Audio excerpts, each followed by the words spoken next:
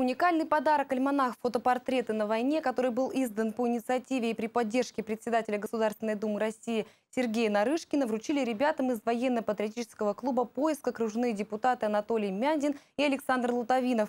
Такой подарок законодатели выбрали не случайно, ведь клуб «Поиск» – это яркий пример патриотического воспитания молодежи не на словах, а на деле. В этом убедилась и наша съемочная группа.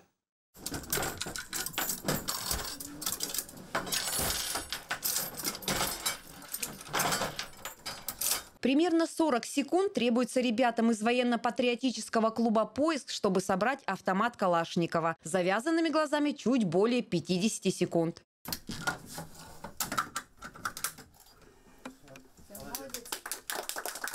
Восьмиклассник Дмитрий Терентьев с начальной школы занимается в клубе. Этим летом молодой человек принял участие в благоустройстве воинского захоронения 10-й гвардейской дивизии у высоты Шпиль в Мурманской области. За два дня мы, группа из четырех человек, мы прошли больше 100 километров НТВ дороги. Мы нашли три захоронения, обнаружили останки самолета, бомбардировщик, точно не знаем, наш или врага. А пули я находил целые, как, ну, от винтовки Мосина пули, целые вот такие, как сказать там, ну, обойма, получается, вот целые находили мы. Целыми кучами и цинки находили, и остатки там, ну, от техники всякой разные, пушки. Находили мы э, от минометов снаряды. Пули, гильзы, каски, лопата, подкова, осколок 120-миллиметрового артиллерийского снаряда и другие предметы, найденные не только на Мурманском, но и на Карельском фронте, теперь хранятся в школьном музее. В прошлом году сводный отряд из шести человек под руководством лидера клуба Марины Литковой принял участие в экспедиции по поиску останков бойцов Красной Армии, воевавших на Карельском фронте. Работы проходили в районе поселка Лоймала в Республике Карелия. Поисковая экспедиция в этом районе действует ежегодно с 2009 года. За это время поисковиками было найдено несколько тысяч безымянных могил, незахороненных останков бойцов и командиров Красной Армии. В Карелии, близ поселка Лоймала, а, вот они уже сколько лет поднимают, поднимают, поднимают, а конца и края этому нет. Все, практически все в одном месте.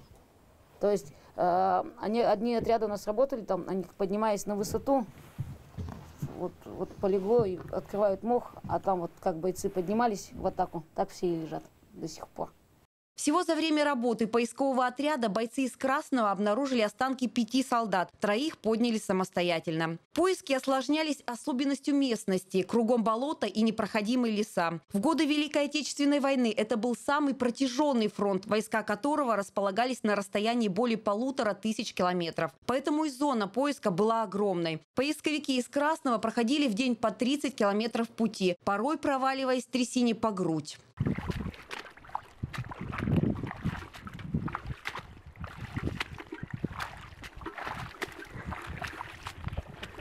Было страшно, но ребята шли от ориентира к ориентиру, сверяясь с картой и описанием места захоронения. Они единственные из лагеря, кто проделал весь путь пешком. За это их прозвали «железными людьми». Работать там, по словам Марины Литковой, было не только трудно, но и опасно. Кругом не разорвавшиеся мины и снаряды. А еще на пути встречались ядовитые змеи.